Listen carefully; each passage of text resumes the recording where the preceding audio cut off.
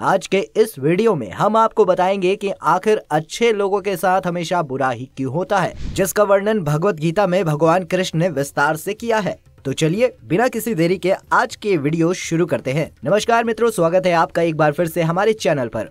धर्म ग्रंथों में भगवत गीता एक ऐसा धर्म ग्रंथ है, जिसमें मनुष्य के मन में उठने वाले हर प्रश्न का हल विस्तार से बताया गया है। भगवत गीता में वर्णित कथा के अनुसार अर्जुन के मन में जब भी कोई दुविधा उत्पन्न होती थी वो उसके समाधान के लिए श्री कृष्ण के पास पहुँच जाते थे। एक दिन की बात है, अर्जुन भगवान श्री कृष्ण के पास आए और उनसे बोले, हे वासुदेव, मुझे एक दुविधा ने घेर रखा है और इसका समाधान आप ही बता सकते हैं। तब श्री कृष्ण ने अर्जुन से कहा, धनंजय, अपने मन की दुविधा विस्तार से बताओ, तब मैं तुम्हें उसका हल बता पाऊँगा। तब अर्जुन बोले, हे नारायण, कृपा करके मुझे ये बताइए कि अच्छे लोगों के साथ हमेशा बुरा ही क्यों होता है? जबकि बुरे लोग हमेशा खुशहाल दिखते हैं। अर्जुन के मुख से ऐसी बातें सुनकर श्री कृष्ण मुस्कुराते हुए बोले, पार्थ, मनुष्य जैसा देखता है या फिर महसूस करता है? वास्तव में वैसा कुछ नहीं होता, बल्कि अज्ञानता वश और सच्चाई को समझ नहीं पाता। श्री कृष्ण की बातें सुनकर अर्जुन हैरान हो गए और बोले, हे नारायण, आप क्या कहना चाहते हैं? मेरी समझ में तो बिल्कुल नहीं आया। तब श्री कृष्ण बोले, अब मैं तुम्हें एक कथा सुनाता हूँ, जिसे जानने के बाद तुम समझ जाओगे कि हर एक प्राणी को उसके कर्म के हिसाब से ही फल मिलता है। अर्थात जो बुरा कर्म करता है, उसे बुरा फल मिलता है, और जो अच्छा कर्म करता है, उसे अच्छा फल मिलता है। क्योंकि अच्छे कर्म और बुरे कर्म तो मनुष्य पर निर्भर करते हैं। प्रकृति प्रत्येक को अपनी राह चुनने का एक मौका देती है, और इसका फैसला करना कि वो किस राह पर चलना चाहता है। ये व्यक्ति विशेष की इच्छा पर निर्भर करता है। फिर कथा सुनाते हुए श्री कृष्ण बोलते हैं, बहुत समय पहले की बात है। एक नगर में दो पुरुष रहा करते थे।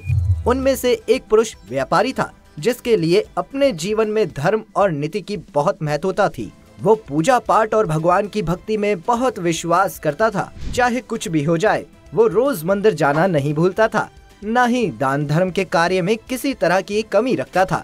कुछ भी हो जाए, वो नित्य भगवान की पूजा अर्चना किया करता था। वहीं दूसरी और उसी नगर का दूसरा पुरुष पहले वाले से बिल्कुल ही विपरीत था। वो प्रतिदिन मंदिर तो जाया करता था, लेकिन पूजा पाठ के उद्देश्य से नहीं, बल्कि मंदिर के बाहर से चप्पल और धन चुराने के लिए। उसे दान, धर्म, न्याय, नीति किसी से भी कुछ लेना देना ही नहीं था। इतना ही नहीं, वो मंदिर जाकर वहाँ चोरी किया करता था। इस तरह समय बीतता गया और एक दिन उस नगर में जोरों से बारिश हो रही थी, जिसकी वजह से उस दिन नगर के मंदिर में पंडित के अलावा कोई भी नहीं था। ये बात जब दूसरे पुरुष को पता चली, यानी जो अधर्मी था, उसके मन में ये ख्याल आता है कि अभी ये सही मौका है मंदिर के धन को चुराने का, और वो बारिश में ही मंदिर पहुँच जाता है। मंदिर पहुंचकर उस व्यक्ति ने पंडित से नज़र बचाते हुए मंदिर में मौजूद सारे धन और जेवरात चुरा लिए, और बड़ी प्रसन्नता से वहाँ से निकल गया। उसी समय धर्म कर्म में विश्वास करने वाला व्यापारी भी मंदिर पहुँचा और भगवान के दर्शन करने लगा। परंतु दुर्भाग्य से मंदिर का पुजारी उस भले व्यापारी को ही चोर समझ बैठता है और शोर मचाने लगता है। चोर चोर चोर! शोर सुनकर मंदिर में लोगों की भीड़ जमा हो जाती है और सभी लोग उस भले व्यापारी को ही चोर समझ बैठते हैं और उसे अपमानित करने लगते हैं। ये देखकर वो भला व्यक्ति हैरान हो जाता है। उसे समझ नहीं आ रहा होता है कि उसके साथ आखिर ये हो क्या रहा है। फिर वह किसी तरह लोगों से बचता हुआ उस मंदिर से निकल जाता है। लेकिन दुर्भाग्य ने उसका साथ वहाँ भी नहीं छोड़ा।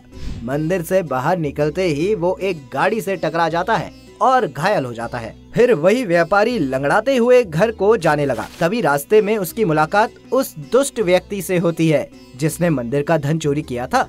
पर झूमता नाचता हुआ और जोरों जोरों से बोलता हुआ वो जा रहा था।